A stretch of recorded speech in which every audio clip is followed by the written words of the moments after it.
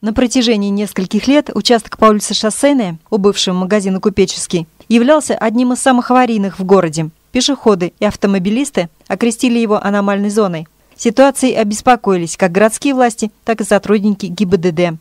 По решению городских властей установка светофора на этом участке должна была произойти еще в мае. Однако ряд положений федерального законодательства стал причиной переноса сроков воплощения в жизнь намеченного. Это связано с тем, что а, прошло два аукциона, на которые не выставился ни один подрядчик, хотя были договоренности и с липецкими, и с рязанскими, и а, с тамбовскими поставщиками. Но, наконец-то, Э, третья конкурсная процедура завершилась, определен тамбовский подрядчик. Для того, чтобы приступить непосредственно к установке самого светофора, необходимо было провести подготовительные работы, связанные с реконструкцией тротуара и монтажу дополнительных опор. Ситуация несколько осложнялась расположенным неподалеку газопроводом и проходящими под полотном дороги коммуникациями. К тому же место установки светофора должно было удовлетворять всем требованиям по безопасности дорожного движения. Сейчас строительные работы практически завершены. Осталось подключить электричество и установить сам объект. К 10 сентября светофор должен заработать.